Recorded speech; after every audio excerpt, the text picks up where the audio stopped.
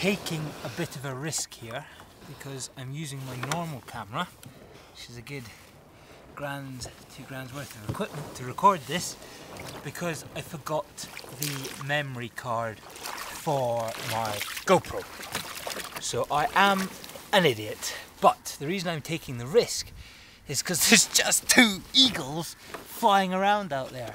So as I paddle out to the island, I want to make sure that if anything interesting happens, I can tell you about it.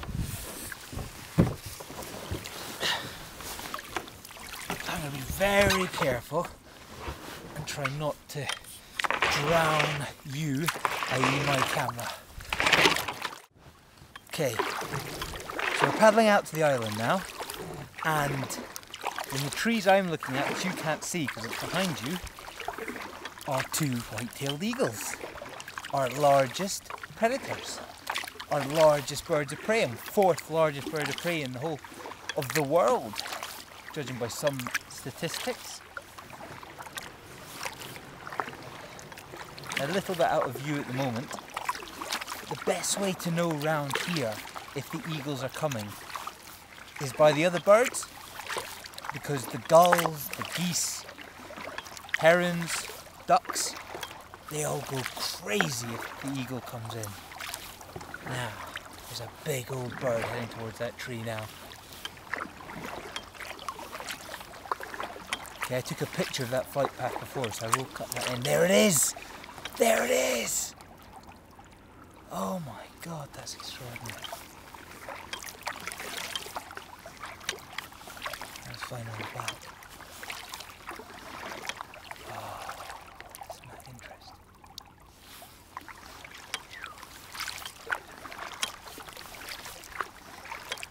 now, the other reason I'm risking my camera and my livelihood is because, as I was saying before, there is an otter somewhere around here. And if I stumble across it, I really want to show you it because it's just such a beautiful creature. One of these creatures that are the total master of their environment.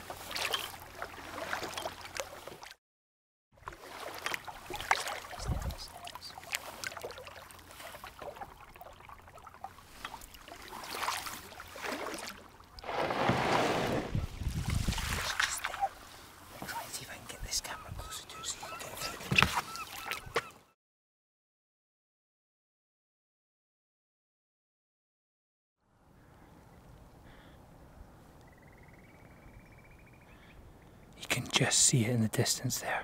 A little speck moving around.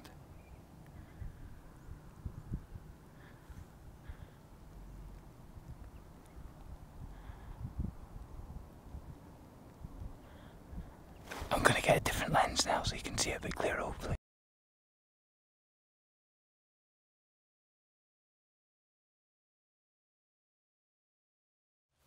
Two white-tailed eagles an otter, geese, ducks. We haven't even started the episode yet. And the whole point of this episode was to find out what was on that card. Because the bait has gone. So I'm going to grab the card out of here, download the pictures, and show you what we found. And show me, because I haven't seen anything either.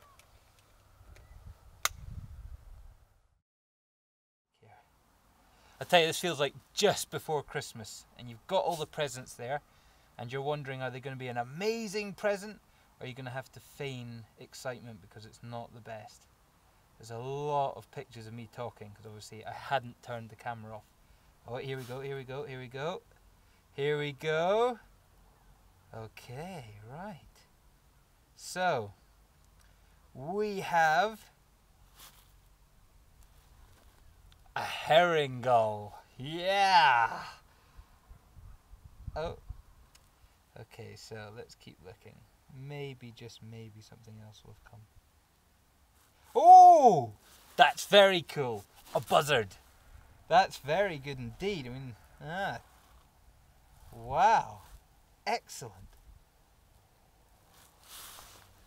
Can you see that there? I don't know. What I'll do is I'll splice this into the video so you can actually see some of these pictures. Fantastic. Look at that. All three gulls. Looks like a lesser blackback that one, and a couple of herring gulls and some juveniles. Lots of gulls. One, two, three, four. Okay, that's me look through all the pictures now. And apart from that wonderful shot of the buzzard, it was pretty much just gulls. Now I love gulls, but it's not exactly what we're trying to get to come in here. But this is a long-term project, so I will keep bringing food out, and I'll keep the camera trap here. And if we do get an otter and an eagle or something a bit more exotic coming down, I'll be sure to show you in that, in that video diary. The next one we're going to do is a behind the scenes look at setting up the peregrine nest site we hope to establish and a sand martin colony. Thank you so much for watching and I will see you next time.